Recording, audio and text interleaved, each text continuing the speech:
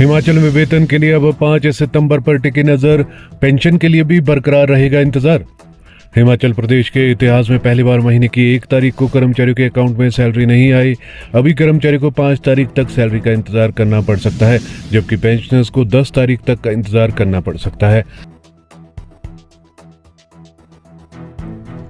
पाँच सितंबर को भी वेतन दोपहर बाद ही खाते में क्रेडिट होने के आसार है। केंद्र से रेवेन्यू डेफिसिट ग्रांट की 520 करोड़ रुपए की रकम 5 सितंबर को राज्य सरकार की ट्रेजरी में आएगी। फिर ट्रेजरी से बैंक में पैसा आने की प्रक्रिया में समय लगता है। यदि 5 सितंबर को यह प्रक्रिया पूरी नहीं हो पाई तो वेतन के लिए एक दिन और इंतज़ार करना होगा। हिमाचल में सरकारी कर्मचारियों के एक महीने के वेतन की रकम 1200 करोड़ रुपए के करीब बनती है। इसी तरह पेंशन का एक महीने का अमाउंट 800 करोड़ रुपए बनता है। कुल मिलाकर सरकार को एक महीने के वेतन और पेंशन के लिए 2000 करोड़ रुपए की रकम चाहिए। वेतन 5 सितंबर को नहीं आया तो अगले दिन, यानी 6 सितंबर को संभावना होगी और पेंशन के लिए संभव है कि 10 सितंबर तक प्रतीक्षा करनी पड़े। अब सरकार इस संकट से कैसे पार पाएगी, इसे भी समझते हैं। राज्य सरकार के पास बची कुल तेईस करोड़ लोन लिमिट। मान लीजिए राज्य सरकार सैलरी व पेंशन के लिए लोन लेना चाहे तो क्या विकल्प है? राज्य सरकार के इस वित्त वर्ष में दिसंबर तक लोन लिमिट बासठ सौ करोड़ रुपए है।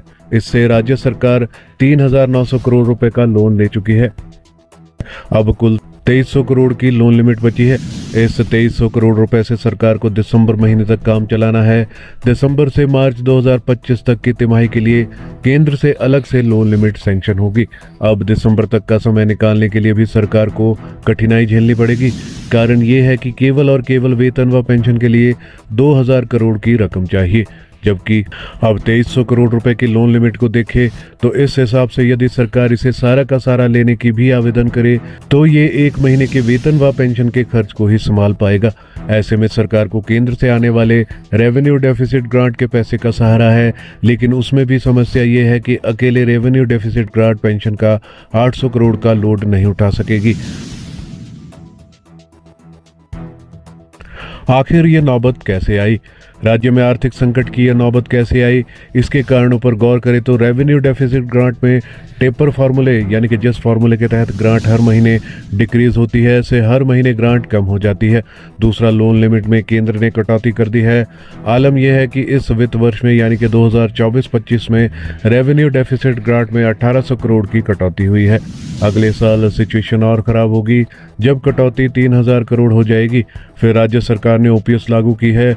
इस कारण न्यू पेंशन स्कीम यानी कि एनपीएस के राज्य के कंट्रीब्यूशन के कारण मिलने वाले 2000 करोड़ का लोन भी हाथ से खिसक गया है। इससे सरकार के खजाने पर एकदम से बोझ आ गया है। अब हर महीने पहली तारीख को आएगा संकट।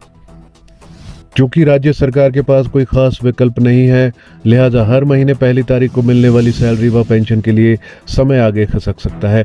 ये समय महीने की पहली तारीख के बजाय छह तारीख हो सकता है। सरकार के खुद के टैक्स व नॉन टैक्स रेवेन्यू से हर महीने 1100 से 1200 करोड़ रुपए के करीब रकम जुटती है। इससे वैट, शराब की बिक्री आदि से रेवेन्यू आता है।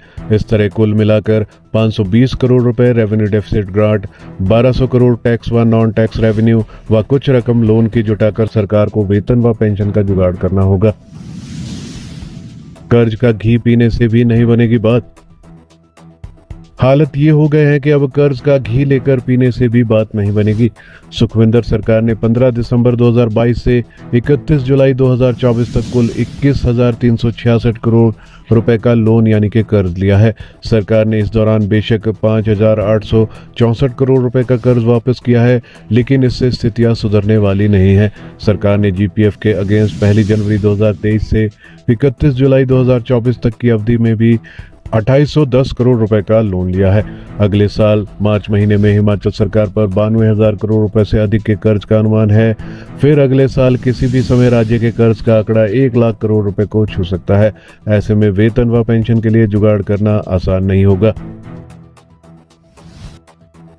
हिमाचल सरकार के वित्त सचिव रहे सेवानिवृत्त आई अधिकारी के आर भारती का कहना है कि कर्ज की समस्या विकराल हो गई है। इसे काबू में करने के लिए कई मोर्चों पर काम करने की ज़रूरत है।